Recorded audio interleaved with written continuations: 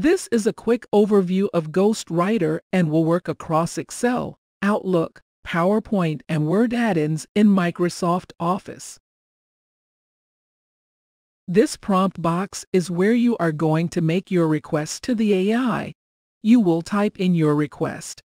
Being descriptive is important to get the best response. Persona allow you to have the AI assume a role when responding. This is very useful in getting a certain experience from the response.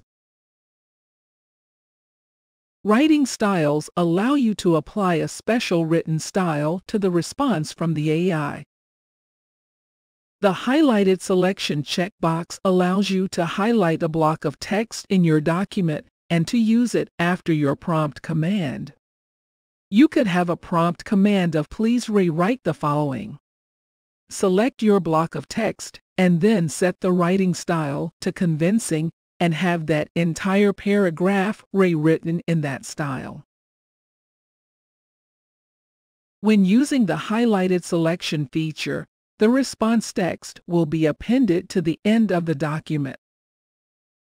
If the Use Highlighted Selection box is unchecked, the response text will be inserted at the cursor location.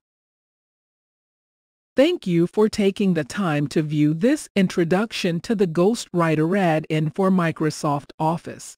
As always, if you have any questions, please feel free to email me directly.